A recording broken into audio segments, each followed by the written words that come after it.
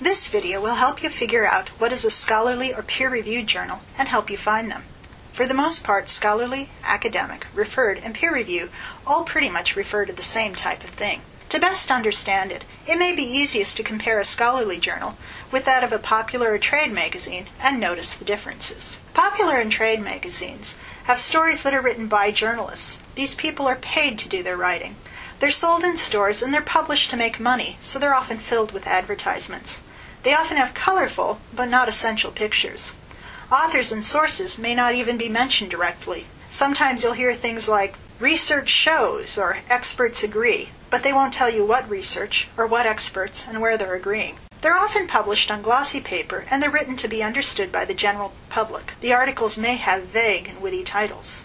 A scholarly journal is something different. First, it's written by the persons doing the research. They're sold to two groups professionals and academic libraries, so people can study for a profession.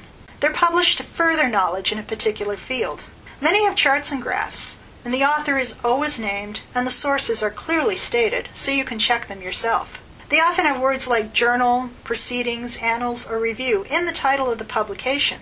The key thing is the articles look like research papers. They're written to be understood by those in the same field, so they're often filled with a lot of jargon or vocabulary specific to that field. Often they have an abstract. Article titles are usually very clear about the contents of the article. Popular trade or commercial publications may report about research, but that's different from a research article. Consider these two articles. They both talk about the exact same study. The one on the left is only 500 words and summarizes the findings of a study in layman's term. It was written by a staff writer of Health News whose name wasn't published with the story. The article written on the right is by seven people who did the research. It's eight pages and gives full explanation of their methods, results, and comments, including areas they feel need further study. Last of all, it contains a bibliography of 46 sources they used in conducting their research. The article is from the Journal of the American Medical Association, and it went through the peer review process. So, what is peer review? Before an article gets published, it's looked over, reviewed, by another professional in the same field a peer. Only when the reviewer is satisfied that the article follows proper research and writing criteria for that journal will the article get published. This process may take anywhere from six months to a year. So I'm clear all peer reviewed articles are scholarly, but not every scholarly article goes through the rigor of a peer review. So, how do you find them?